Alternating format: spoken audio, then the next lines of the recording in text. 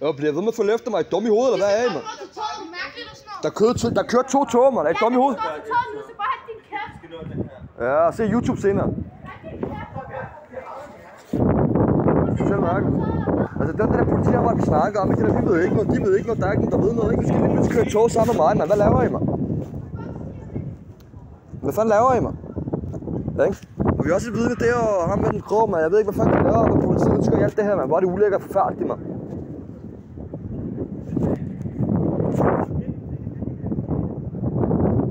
Det er meget interessant, ikke? Og det er normalt det danskere, man. Jeg ser ikke på de her muslimske klæder nogen steder, man. Men nej, det er fucking mærkeligt, det her, ikke? Er det noget med at se de her pansersvin? Se det på videoerne, se det nu, man, ikke? Det er bare nogle mennesker, der sådan kender mig i deres TikTok og Facebook, man. Hvad der ellers er sket, man, ikke? Jeg har aldrig nogensinde taget eller sigter på sådan en ulækker kriminalitet, panserne på før.